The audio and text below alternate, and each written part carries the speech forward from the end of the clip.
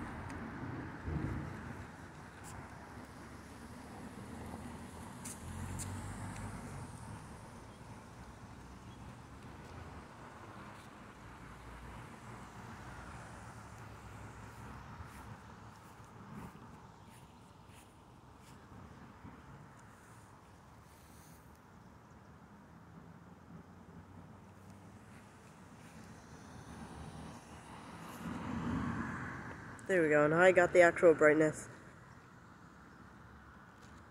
Jesus Christ, this thing is huge. I want to get struck by lightning.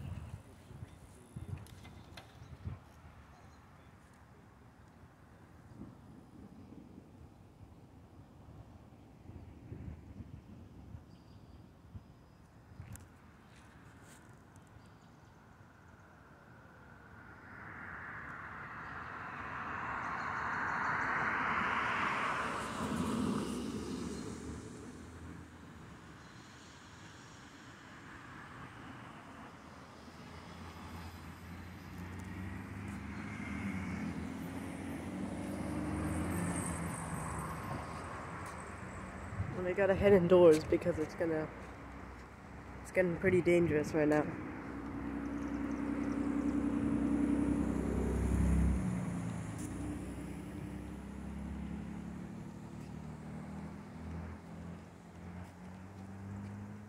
I'm gonna give you the full view.